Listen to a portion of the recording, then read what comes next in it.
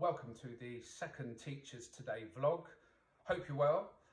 So what we are going to look at in today's vlog is behaviour management and we're going to look at those first meetings that you will have with students as a supply teacher. Uh, the key meeting going into a school. With my background in head of department, in leadership, I know what I was looking for from a supply teacher coming into my department or into my school. And I think it's important that we get an understanding of that.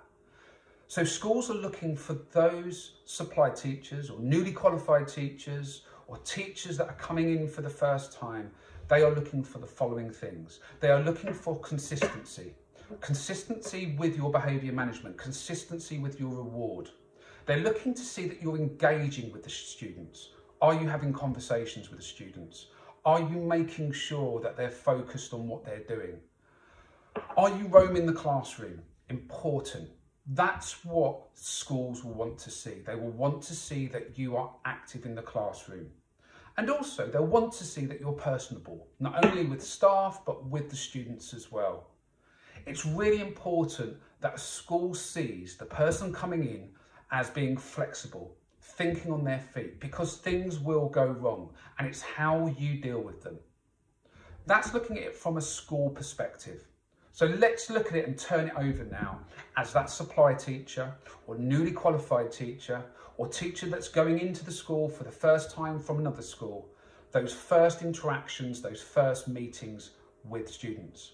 Now, as a supply teacher, as part of the company that I work for, Teachers Today, I'm the director. I go into schools and I do supply myself because I think it's important that I get a good understanding of the type of schools that my staff are working in.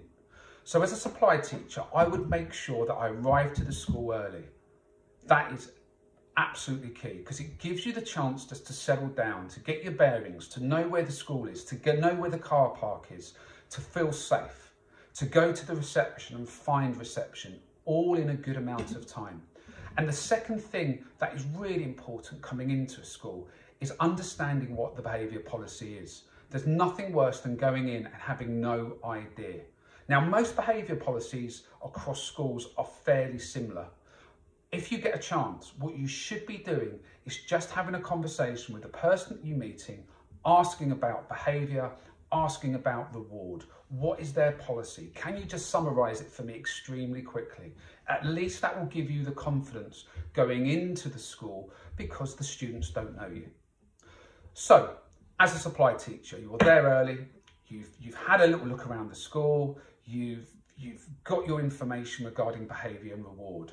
So what are you going to do on your first meeting with the students? So these are some top tips that I think uh, will benefit any teacher going in. The first one, make sure you're at the door welcoming the students in. Smile, say hello, say good morning, say good afternoon. But as they're coming through the door, you may well want to say, put your bags on the floor, put your coats behind you, sit down, look at the task on the board, please complete that. That is stamping your authority straight away, but in a nice way. And that's what's really key. Now, the students don't know you. They're going to be slightly nervous. You're probably slightly nervous as well. But this is the perfect time, that first meeting when the students are looking at you, to get your expectations across. They will be quiet. They do not know you in the first instance. So this is when you will need to explain your expectations and keep the expectations simple. Number one, please put your hand up if you are going to contribute or ask a question today. Number two, while I'm talking as a teacher, please ensure that you are not talking. It's really important for your learning. And number three, let's be respectful with each other. From there, you have set your expectation. You have set your line in the sand. Now, you may also say that you've got an understanding of the behaviour policy. You know about rewards. You know about uh, sanctions. Just so the kids are, are aware that you've done a little bit of knowledge before coming in. You've understood what the school is about. Once you've done this, the register is a really good time to keep the students quiet, for them to be getting on with a task while you're doing the register. And if you notice that any students are talking at any point, absolutely stop. Go back to your expectations. Be consistent in your approach. It's extremely important. If you do these things, the lesson will flow. The students will know that they've got somebody in charge um, who is showing good skills, good leadership. And let's face it, what kids want, they want to be in a safe environment. That is key. They want somebody to manage the environment around them. Some other top tips for you is when you're in the classroom, make sure that you are being active, that you are roaming around the classroom. That is really important. Keep an eye on certain students, reward students, say well done, say congratulations on that piece of work. Reward is so important. And if you have to, overdo it. That is key. If you're roaming, if you're active, if you're talking, if they can see that you are owning the classroom environment, that for your initial first meeting will be extremely good. That will work for you. Now, obviously, if there are any major issues in the classroom, you just need to remain calm. You need to follow the behaviour policy. You need to make sure, if you have to, ask for help. It's not a failure. Asking for help is actually you doing your job. It shows that you care and it shows to the department and the school that you care. One thing that I would say, the fact is you don't know the students. Do not stand in a student space. Do not overpower a student. Sometimes if you're going to talk to a student and you're going to sanction a student, sometimes it's better just to sit back. It's better to take the lower ground so you don't that student doesn't feel uncompromised.